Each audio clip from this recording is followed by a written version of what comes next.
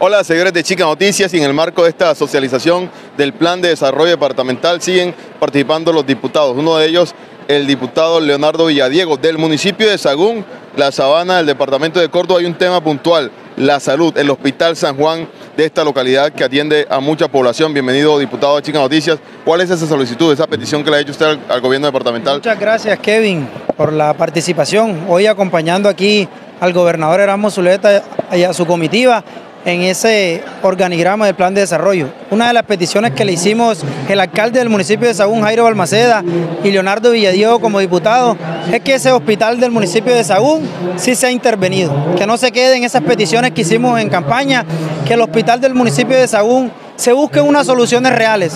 Los compromisos hicieron una nueva sede, un hospital de tercer nivel.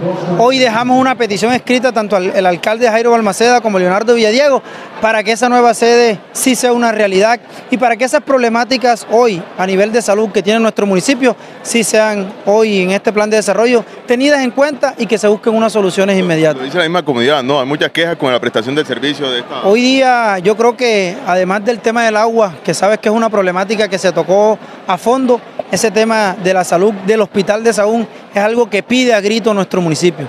Yo creo que buscándole una solución a la salud, el municipio de Saúl y los habitantes del municipio de Saúl van a estar más tranquilos porque el dolor de cabeza es que hoy vamos al hospital y tenemos que transportarnos al municipio de Montería porque en el hospital de Saúl hay muy pocas condiciones hoy y es más, como lo comentó el gobernador, hoy esos hospitales no se sabe si quién llega peor, si el paciente o si la infraestructura en la que se encuentran los hospitales. Por eso creo que no hay que buscar culpables ni buscar una persona responsable, sino buscar soluciones inmediatas para que el hospital de Sagún sí sea una realidad y se pueda solucionar esa problemática, ese derecho fundamental como es la salud.